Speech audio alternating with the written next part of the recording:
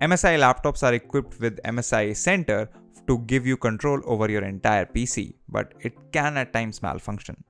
My name is Yadullah, you are watching Candid.technology and in this video we are talking about how to fix MSI Center not working on your PC. So if you've got a flashy new MSI laptop and the MSI Center or the Dragon Center is not working, the easiest way to fix the problem is by completely reinstalling Dragon Center or MSI Center from scratch. Now to do that, there are a couple of steps that you need to take care of first.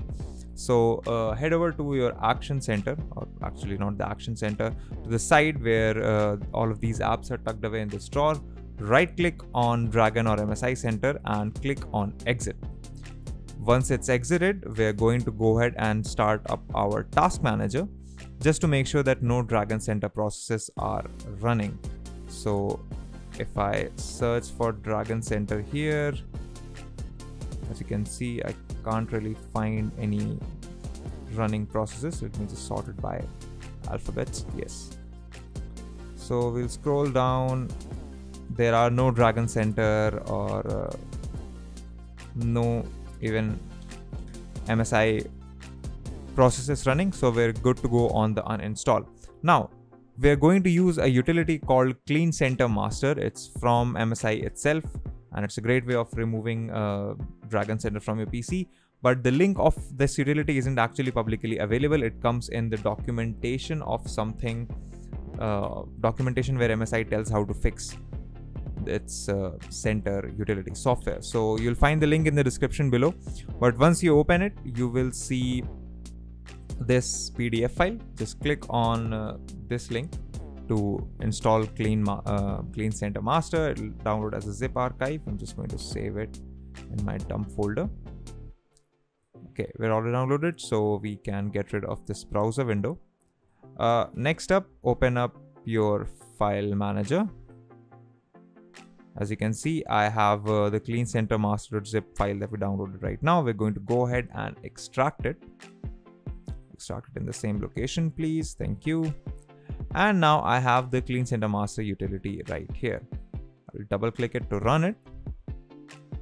Give it the permissions it needs.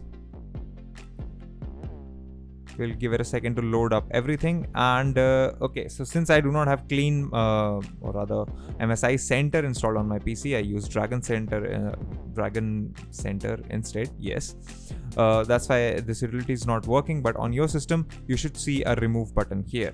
Once you click this remove button, this will completely wipe any instance of uh, MSI's uh, clean center or MSI center from your system. Once you're done with this, go ahead and uh, press Windows key plus X or right click on the start menu button and go to installed apps. We'll give it a second to load and this will show you all the list of installed apps on your PC. Uh, we'll quickly search for uh, MSI Center here. Uh, so I have a couple of MSI programs. Uh, I also have Dragon Center if I'm not wrong. Yeah, so uh, if you see MSI Center or Dragon Center in here after you're done uh, using the clean center master utility just go ahead and uninstall it using the three buttons right here click uninstall it will ask you for a confirmation, click uninstall again, and that's that. Now you've completely removed MSI Center from your PC. Now to reinstall MSI Center is a very simple process. Just open the start menu, head over to Microsoft Store, and in here you can just search for MSI Center. As you can see, it's right here.